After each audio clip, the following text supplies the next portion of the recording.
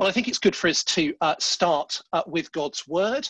And I want to uh, take us just at the beginning to Daniel uh, chapter 9, which seems to me to be relevant and appropriate to um, the circumstances in which we find ourselves. So, Daniel uh, chapter uh, 9. I'm sure, like um, me, you're all feeling frustrated with this lockdown, that it seems to be um, going on longer than we might have hoped. It's easy for us to feel a degree of disappointment that the lockdown is not being relaxed, and we have to recalibrate our expectations. But very often the case is God's timings are not the same as our timings, and the outworking of God's plan is often longer than expected. That's uh, something that we're reminded of, of in Daniel chapter 9. I know that the situation in Daniel is not identical to ours, but there are some uh, parallels.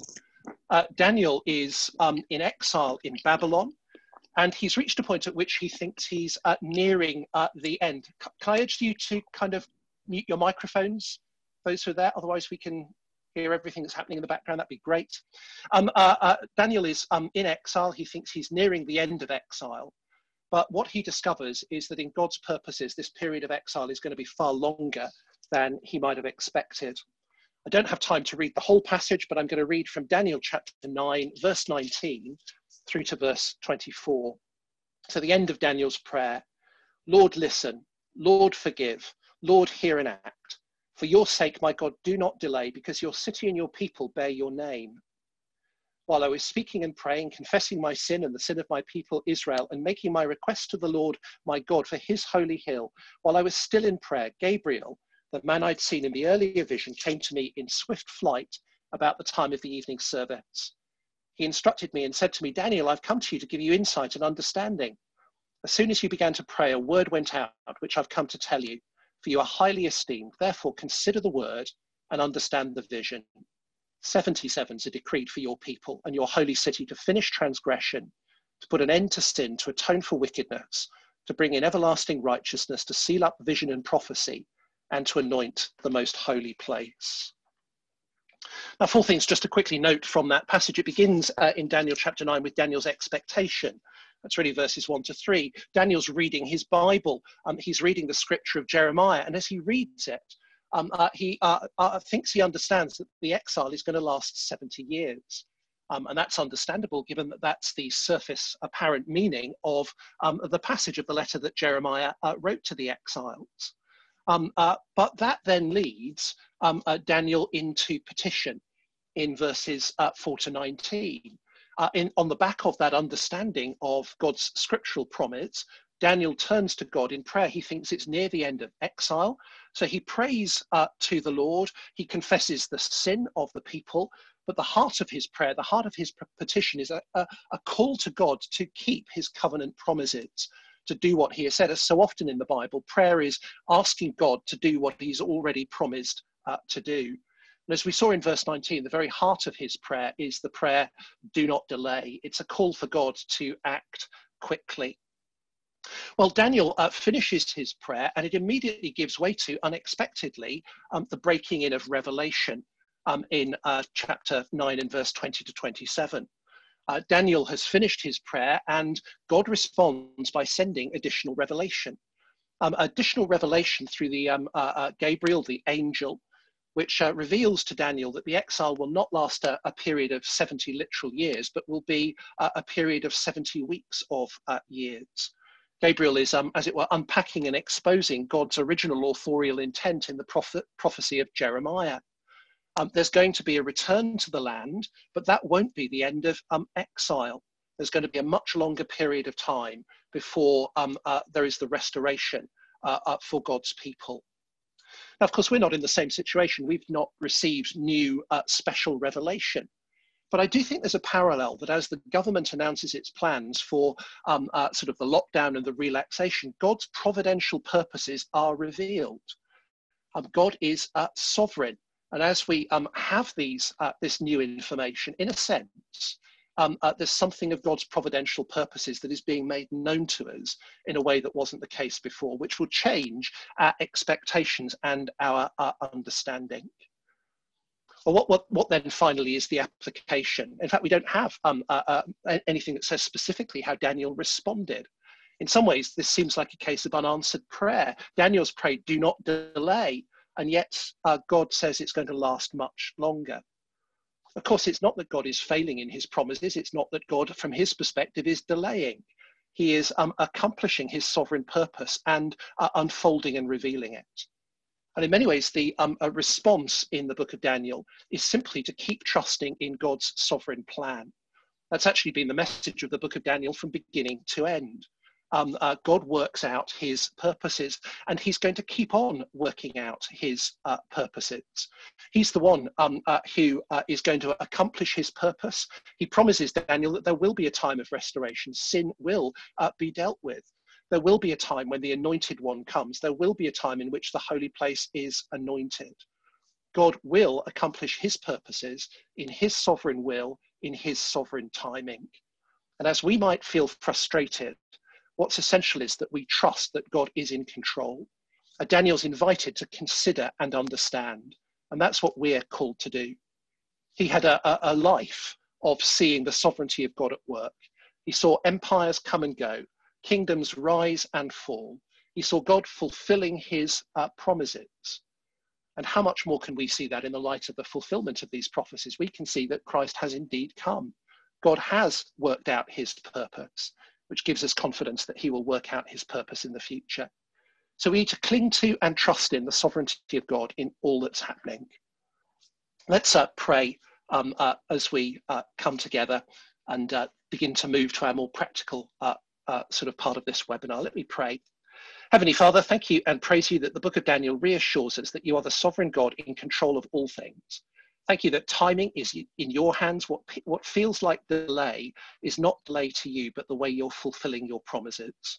Thank you that we can see uh, in Daniel that you're sovereign over all things. Thank you we can see that in the unfolding of salvation history. Particularly, thank you that we live in the light of the fulfillment of these promises with the coming of the Lord Jesus and the beginnings of the restoration um, as your people are gathered, as you make your dwelling with them by your Spirit. Thank you that we can be confident that you will accomplish your ultimate purpose of gathering your people um, uh, when there will be a great day of judgment and a resurrection and a new creation. Please help us to live confidently in the light of that.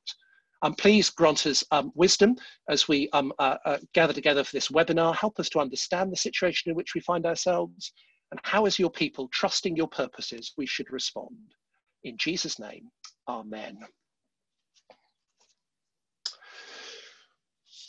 Well, I want to move on from there to talk in this first section about how might the lockdown be relaxed for churches. And in some ways, I'm wanting to update you on um, the latest government advice, um, help us to understand what's happening, why it's happening, and what might happen um, in the future last week at the uh, webinar, I, I, indicated that I thought that the um, lockdown would last longer than was expected.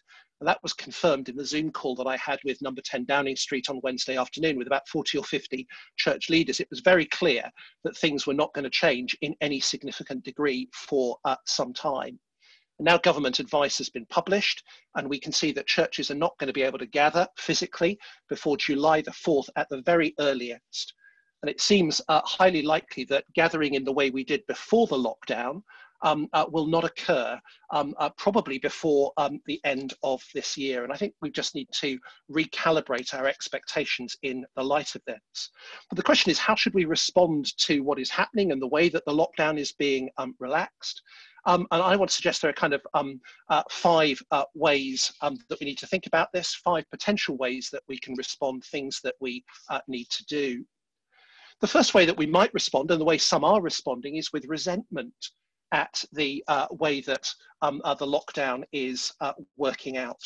Um, here, there's a, a danger of um, increasing frustration and anger on the part of church leaders that we're not being allowed to meet. I detect that in some posts, um, uh, in some tweets. And there are a variety of reasons why people might be feeling resentful. For some, they seem to think the case has not been made strongly enough for the government um, that we ought to be allowed to meet and that that call has been um, ignored. Well, I can assure you, I personally made the case last Wednesday. I challenged the Minister for Faith um, uh, when he compared churches to pubs in terms of where he saw them fitting in on the um, spectrum. Re uh, representations have been made um, to the government. The government has listened to those uh, representations. I think the reality is we just need to recognize that they don't agree uh, with uh, those representations and what churches would like to see um, happen. So um, uh, don't be resentful uh, as if representations have not been made. Secondly, I, I, think there are some for whom they are sort of resentful because they basically think that the um, uh, lockdown is either unnecessary or unjustified. Johnny, I think we might be further on in the presentation. That was the original sheet with the headings. There were some subpoints coming on, but you might want to just see where that's at. But um, for some, they thought that the lockdown was unnecessary, um, uh, either because you know, COVID-19 never really required it, sort of, uh, uh, it was just like a kind of flu, um, uh, uh, or because it's an unjustified infringement of liberty, a case that former kind of Supreme Court Judge Jonathan Sumption was making um, earlier uh, this week. So there are some who feel that this is just simply uh, wrong, that um, uh, there should be a lockdown um, uh, at all and an infringement on um, our religious freedom um, and would prefer people to be allowed just to make their own choices. Another reason for resentment is maybe that people um, uh, are resentful because they see the restrictions are not being enforced against others. Maybe they see shops, public transport, factories, garden centres being permitted to open. Or they think it's not being enforced consistently, that there are others who are breaking it who seem to get away with it. Or they see different approaches being taken, maybe in other parts of the UK, um, in the devolved administrations, or in other countries like the States or Germany. Um, uh, for some, they're resentful because of a lack of consideration of perhaps special circumstances for churches. They think um, churches ought not to be treated like pubs and entertainment um, entertainment venues that um, we're of value to society and ought to have a special place in national life. And there is a resentment that's not understood. But I don't think resentment is necessarily the universal response. For some, there's actually a relief, perhaps, that there isn't the pressure to start meeting when it might be unsafe. I think there are some who will be relieved that there's been no relaxation. There's already a pushback against what the government has been saying. Um, uh, those who um, think that um, uh, it is uh, uh kind of um, unsafe or unfeasible to be able to gather safely. We see that in relation to schools. And I think um, in our churches, it may be the case that our congregations are not perhaps as gung ho as we might like to think. Um, uh, uh, as we get prayer requests in from churches, uh, to FIEC, it's interesting that there's a, a, an increasing change of tone as more and more report bereavements, deaths, infection, and, and perhaps a greater fear and concern for vulnerable people in the life of churches. So um, we can react with um, resentment, but it seems to me that we need to actually um, instead react with realism. We need to have a realism about um, uh, what is happening. Um, uh, we need to have a realism about the likely length of the lockdown, the challenges of reopening, um, and why it is we're not a higher priority. I think understanding will be helpful to us. So it's clear that there's going to be no uh, real change before the 4th of July at the earliest, um, in England at, at, least. And the uh, government changes um, reflect very little actual change in the lockdown. It pretty much amounts to nothing more than being able to go outside more often, maybe meet one person outside at a distance of two meters certainly small groups meeting in homes are not going to be um, permitted. And if the government allows, for example, uh, limited bubbles of social groups to be able to meet, many people are going to face a difficult choice between gathering with members of their family or gathering with members of their church. So I think it's clear there's going to be no return to pre-lockdown gatherings for a long time. The Bishop of London um, on Friday indicated probably not before the end of the year. And it's clear from the government strategy um, and report that the government basically regards churches as being equivalent to cinemas, concert venues, hospitality venues. And as I said, it's easy for us to be resentful of that because we think we don't want to be compared with what we see as a voluntary social activity.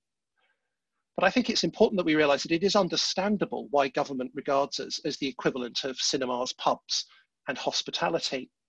Um, basically, that's because of the way that um, we gather and what we do when we gather. When we gather, um, our, our, mingling and interacting with one another is much similar to a, a cinema or a theatre, an indoor sports event, often with a cafe um, thrown in. Uh, it's not surprising that many of our churches hire cinemas or theatres as their venue. The government's concern is not with the worth of what we do, but with the potential for spreading the virus. And in that sense, we are not like shops or garden centres. When we gather as church, our, our, our, our, our purpose is not transactional. I was in uh, Homebase on um, uh, sort of Saturday, seeing the way they implement social distancing. And the whole aim is to get around the shop with minimal contact with others and to conduct a transaction. That's not how churches function when um, they gather. We're not like shops. We're not like garden centres. Some sense, I think the government is right in their understanding of what churches are like. And in a secular society, the, the, the, the, kind of government doesn't really value the social utility of churches as we value it. Um, for us, issues like preaching, worship, evangelism, gathering together are important. For government, what matters about the social utility of churches is their ability to care for people in society, food banks, homeless shelters, um, uh, and many of those works have been continuing. The reality is that people have been affected at church and have died. Um, uh, church gatherings have been responsible for the spread. We know of a church in the West Midlands where just before the lockdown, 10 deaths occurred after a gathering of the church family. Many churches are, are congregations of the predominantly elderly and have disproportionate number of vulnerable people.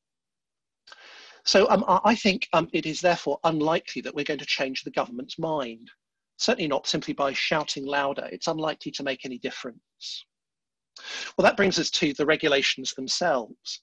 Um, uh, the uh, regulations that the government has put on social distancing, I think, are going to make it quite difficult for churches to gather, um, uh, even if they wanted to. Um, Vue Cinemas this week spoke about what they would need to do to reopen, and I think there are parallels for churches. There'll be a link to that resource uh, at the end. So um, the social distancing requirements are going to make it difficult. Two meters apart, seating and spacing. Many churches are already nearly full. Congregational singing may not be possible because of the risk of spreading, one of the key things that we're missing.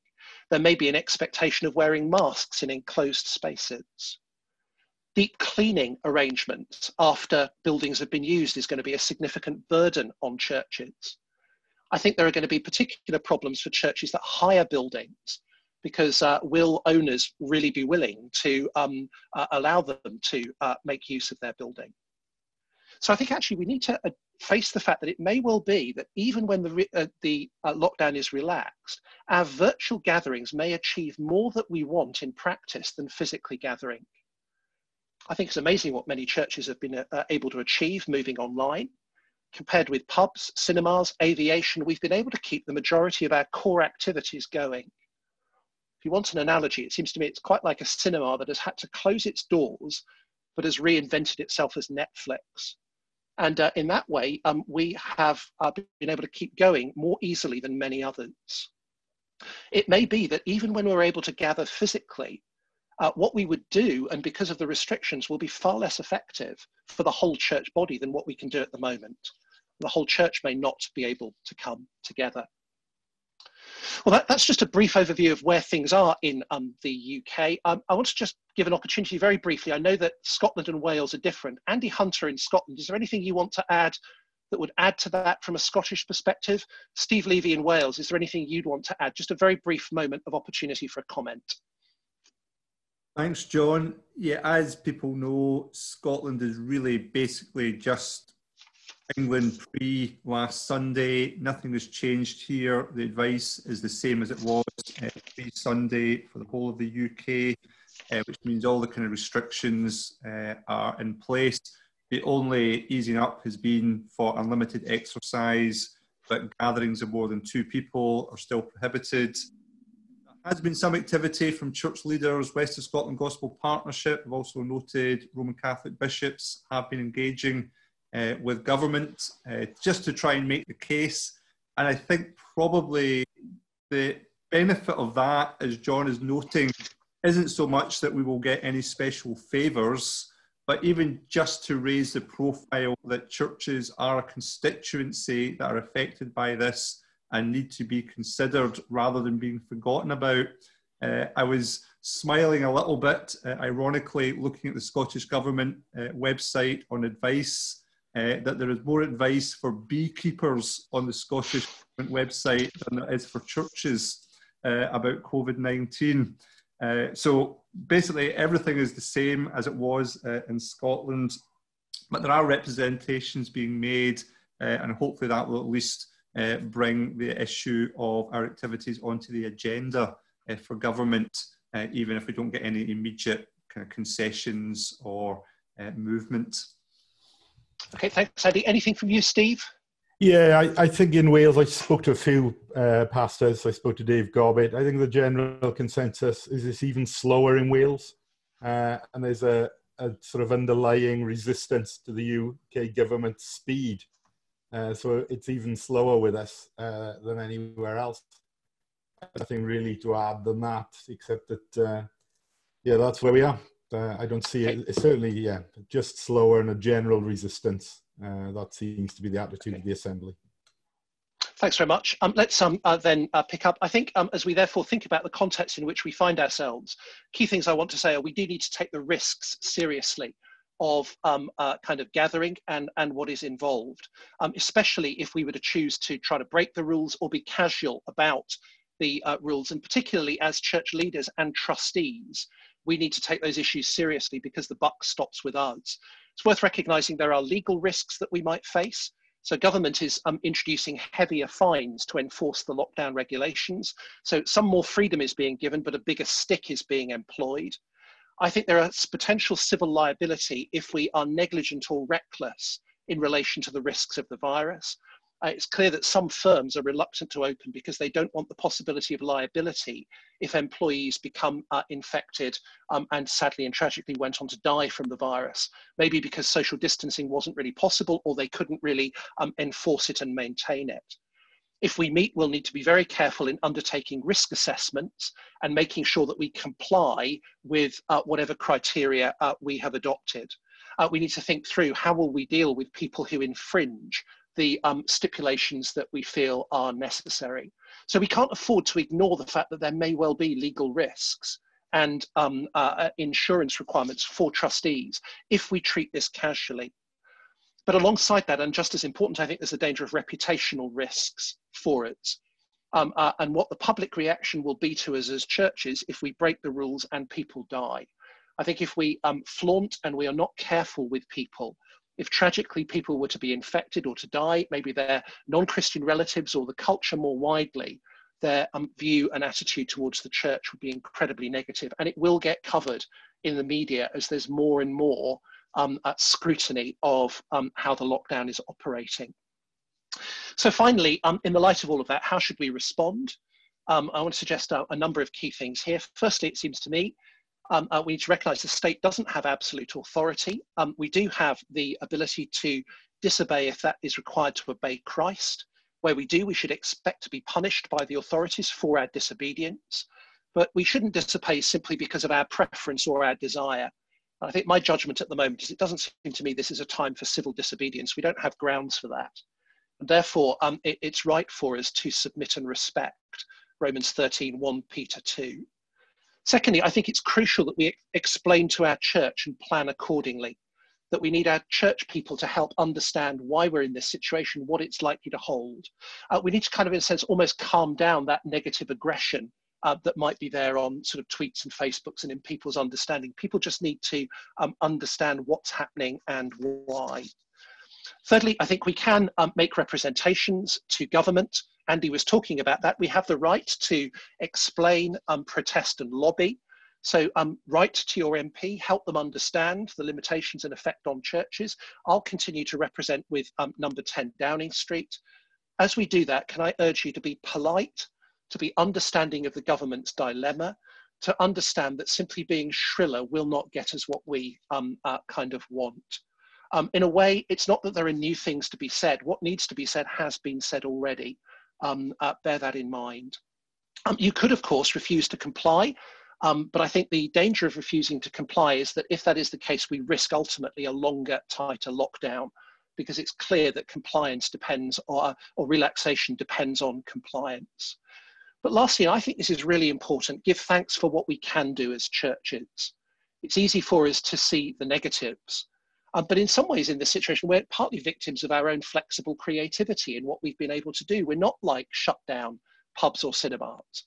We've discovered the word of God is not changed, chained. We can still uh, preach and proclaim. Um, we can, in some measure, disciple and teach and encourage.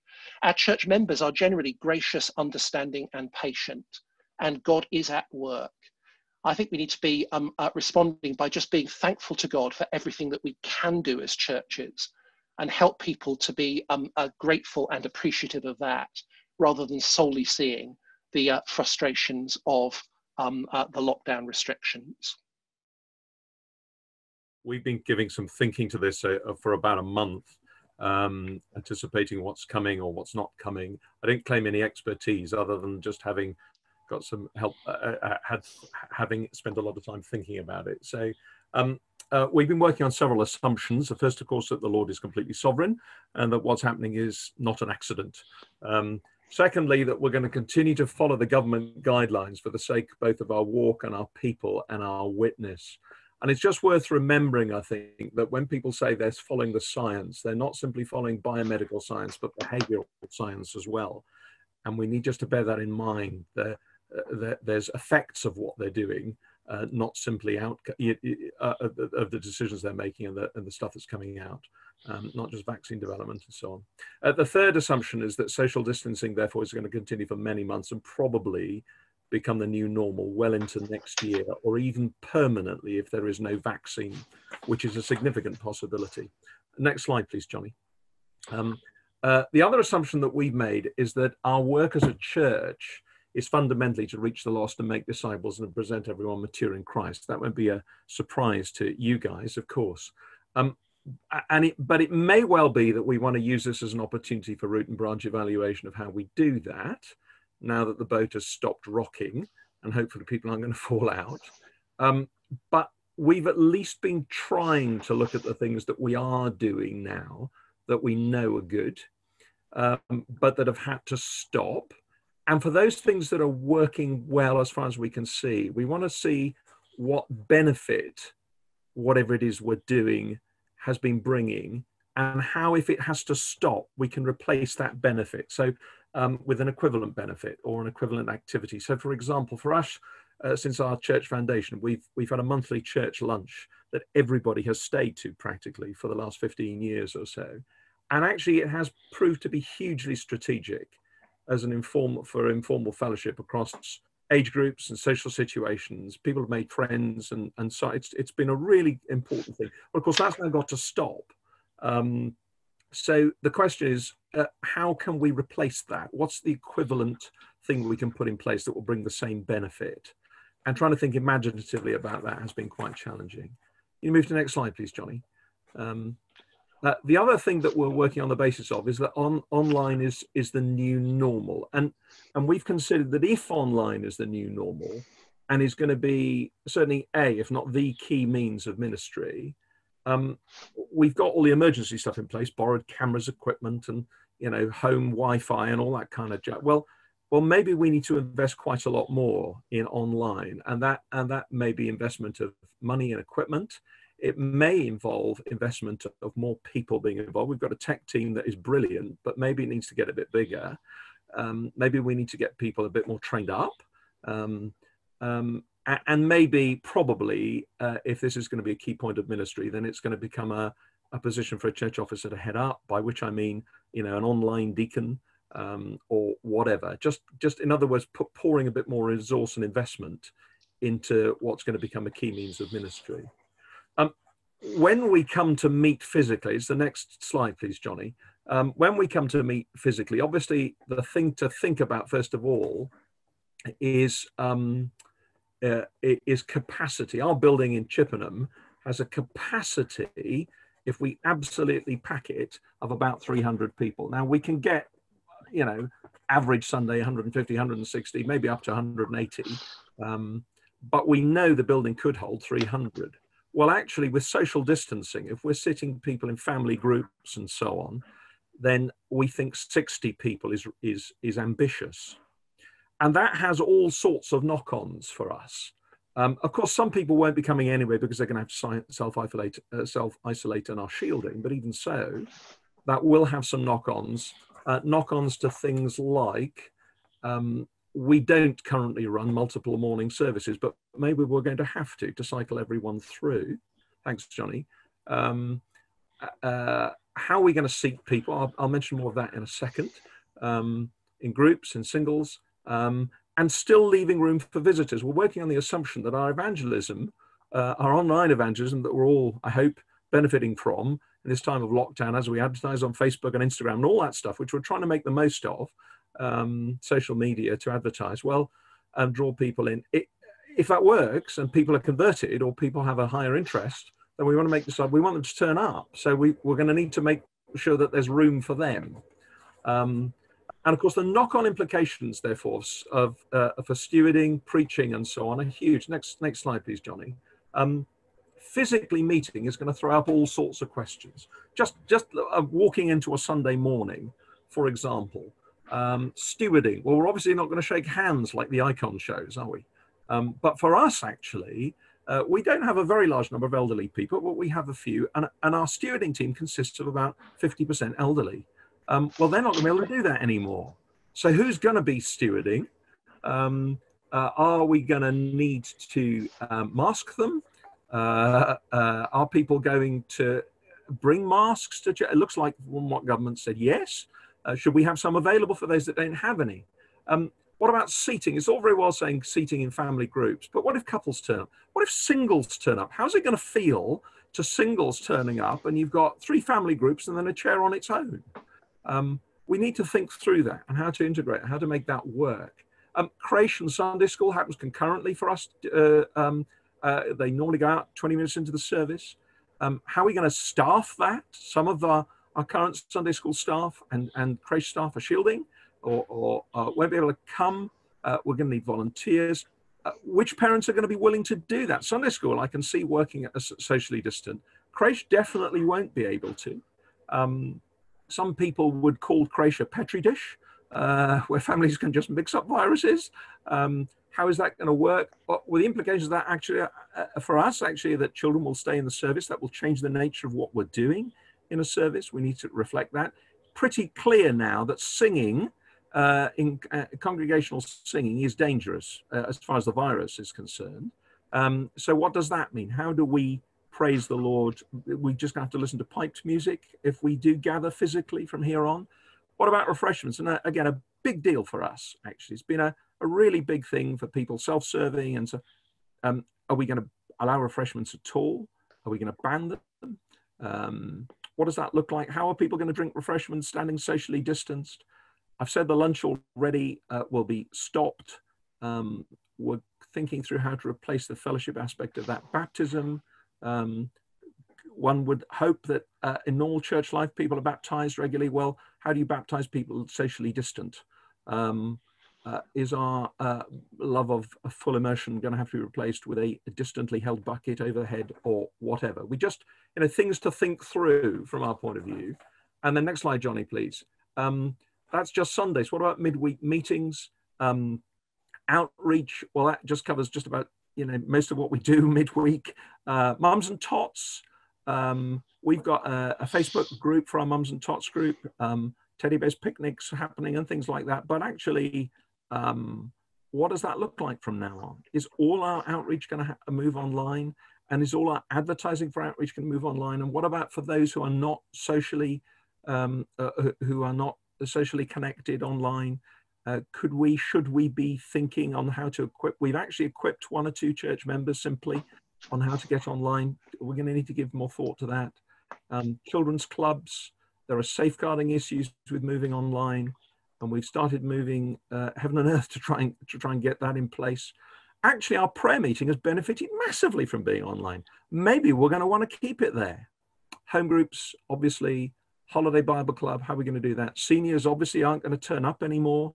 Um, what seniors ministry can we continue, and so on and so on. And then finally, other considerations. Just last slide, Johnny, please. Other considerations. Uh, John's already mentioned deep cleaning, but what about cleaning between services, um, which is obviously going to be necessary for running multiple services? What about special events? We need to think of protocols for running those. We've got a kitchen refurbishment going on in our building. Um, do we stop that? Um, or do we do it while the building's empty? We're, we're giving thought to that. What resources should we be putting into that? Clearly, this will all have budgetary implications. And we haven't even begun to talk about the pastoral knock ons, um, online addictions that are going to be heightened um, because of this. I've heard some horror stories of porn sites giving people free membership um, and this time um, there are people who are self-isolating who are clearly struggling and so on and so on. Um, okay i mean that, that that they're the things that we've started to cycle through. A lot of them are questions. We've started to find answers but fundamentally what we've done is try first of all i brought my elders on board and then we brought uh, the wider um, deacons and others involved in practical ministry on board and we're starting to bring them on the journey that we reckon is going to last several months just to start to rehearse these questions through. Okay, John, back to you. Great. Spencer, thank you um, so much. We've got uh, about 10 um, minutes or so for questions to Spencer and myself. Hopefully you've been sending questions to uh, Phil. We'd love to be able to engage with you. Uh, Phil, do you want to start moderating questions and sending them in our directions? Uh, absolutely. Uh, first one, Spencer, on the back of what you've just said, um, someone's asking, is it worth it? Would it not just be worth keeping everything online until 2021? Is, is it worth all the stress of, uh, of thinking that through for every church? What would your thoughts be, Spencer? Yeah, so sorry, a note I meant to, to raise is this actually, that when going through this with one, uh, with one group of church officers, someone said this is getting back physically together is going to be a real ordeal.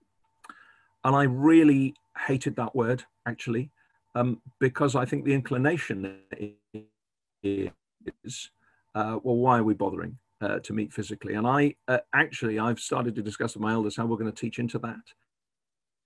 Um, because we work on the basis, I think, that meeting together actually is, is really important. I, I raised the point that um, when I was a kid, uh, brethren behind the Iron Curtain went through terrible ordeals just so they could see one another. And I, I think they thought it was worth it. I think it's worth it. But from what that means for us is um, the preaching series, which has been adapting to this situation. Um, in about a month's time, we're going to start um, some work on how important it is to meet together as best we can. So, yeah, I mean, it clearly it's going to be a lot of hassle, um, and the degree to which it's worth it is going to vary from place to place. We think it's worth it as much as we can.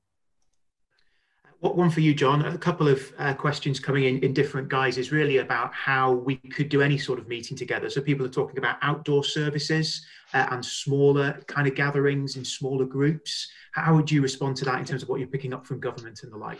Just a couple. Of, I think firstly, it's worth saying that smaller isn't necessarily better than bigger. In actual fact, there's a lot of evidence that the worst gatherings are gatherings of between 10 and 30. It's to do with the degree of interaction between people, not the number of people who are there. And again, from the government perspective, it's not simply about gathering, it's about what happens when you gather, how many contacts you have, how much opportunity there is for the virus to be spread between people. So it's not simply about numbers and size. So, for example, um, uh, uh, speaking about meeting other people, it's been made clear you can meet one person outside at two meters distant. You can't have them in your home. You can't invite them around your home, even if you stay two meters distant. That's all part of this problem of the infection if you've got too much interaction between people closely. Um, outside services, I suspect the real challenge there is how on earth could you maintain the social distancing uh, as a crowd kind of gathers? You've got all of those problems that Spencer talked about in a building translated to outside of a building. Um, and I think, um, firstly, some people will not have facilities where they could do that.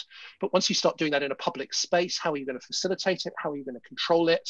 Um, it will attract attention. So it sounds great, but there's a whole load of practical issues associated with how would you gather a group of people for that purpose um, and maintain compliance with what the government is saying about social distancing. Uh, I think, therefore, this calculus between the advantage of gathering and doing what we're doing and what it's achieving already is one we've got to think through. Gathering is clearly better, but there's a, a, a, sense of how much of what we accomplish are we accomplishing how much more effort and is it really feasible to meet in a different way would it would the benefit massively outweigh mm. all of the costs and trouble of doing it i think that's the tough question that we're going to face sort of down the line as the lockdown is more relaxed Phil, can I just quickly chuck, chuck something sure. in? Uh, and, and that is that I was really disturbed by one couple who said to me, We're absolutely loving Sunday mornings. Uh, the kids play quietly and we just get both services and both uh, uh, morning and evening and uh, the kids are enjoying themselves and we're enjoying ourselves and it's wonderful. Actually i, I was quite rocked by that um, because they're going to bring up a, a, generation of children uh, who don't um, pay any attention and who actually don't like church when we do physically meet. I think we, so we're starting to think about that with moving our Sunday school online and putting a different session in because it's just, it's crucial that people think strategically um, ab- ab- about what seeds they're sowing. Uh, just like to kind of, sorry, John, go on.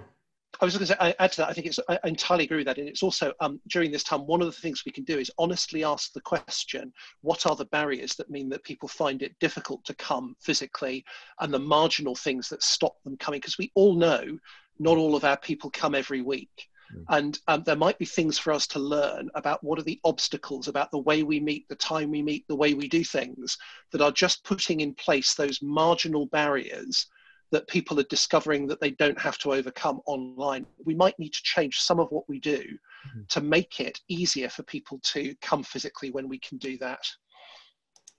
Uh, John, we talked a bit about marriage last week, and it yep. seems like the government are moving towards uh, easing some restrictions uh, on that. Obviously, it's a big pastoral issue for a lot of our churches.